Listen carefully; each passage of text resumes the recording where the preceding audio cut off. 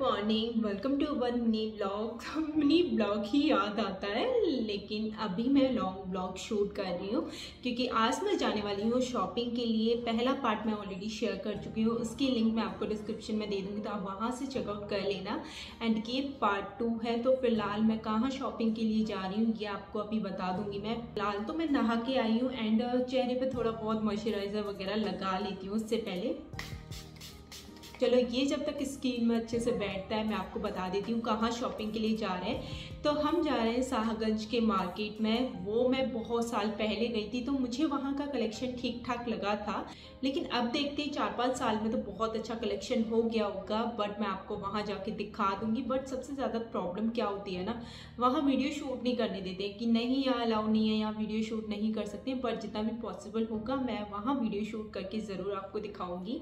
मैं शादी की शॉपिंग करना ना एक बहुत ज़्यादा बड़ा टास्क है।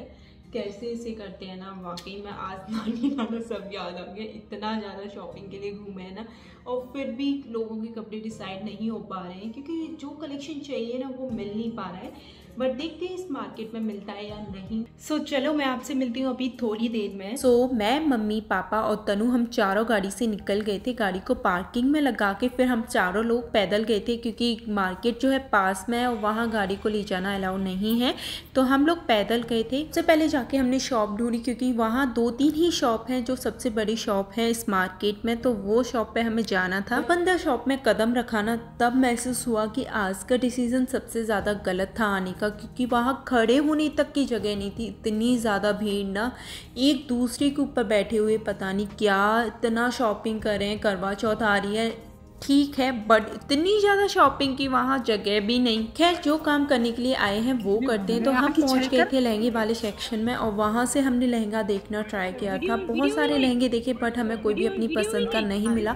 तो इस शॉप को छोड़ के फिर हम दूसरी शॉप में निकल गए थे। यहाँ भी मुझे कुछ खास आइटम लगी नहीं। हमने फिर ज़्यादा कलेक्शन नहीं निकलवाया था क्योंकि हमें पता चल गई थी कि यहाँ भी हमें नहीं मिलने वाले हैं। तो हम निकल के चले गए थे यहाँ से। जब मैंने नेकलेस वगैरह देखे तो मुझे उसका भी कलेक्शन कुछ खास लगा नहीं। नहीं था और चलते चलते इतनी ज़्यादा भूख लगी ना। फिर सबने डिसाइड किया कि सबसे पहले पेट पूजा कर लेते हैं उसके बाद कहीं आगे चलते हैं। तो हम सबने समोसे वगैरह खाए थे और मम्मी ने अपने लिए पकौड़ा वगैरह कुछ लिया था। और फिर हम लोग निकल गए थे घर जाने के लिए लेकिन तनु किसी और शॉप की बोल रही थी बट वो दूसरी डायरेक्शन में बढ़ता तो पापा लेके नहीं गए थे कि वहाँ ज़्यादा भीड़ होगी। इसकी वजह से इन दोनों में आपस में बहस होती रही पूरे रास्ता। चलो ठीक है।